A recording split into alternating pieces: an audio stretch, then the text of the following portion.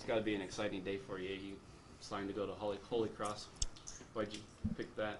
Um, I just feel like it'll be a good choice for me.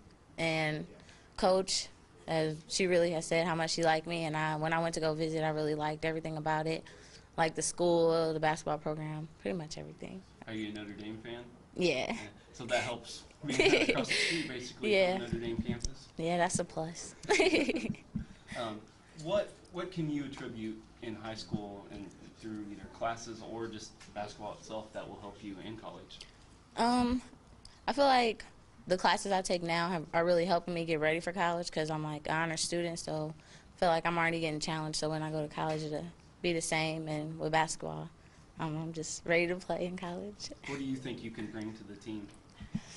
Um, scoring, defense, pretty much all of that, leadership, all the good stuff. What what were some of the other schools you were um, deciding on before you uh, decided on Holy Cross? Um, Goshen College was actually looking at me pretty hard too, and um, Kentucky Kentucky Wesleyan was looking at me also, and a couple other schools, but nothing major. Cool. What are you going to study when you're at Holy Cross? Psychology. Why is that?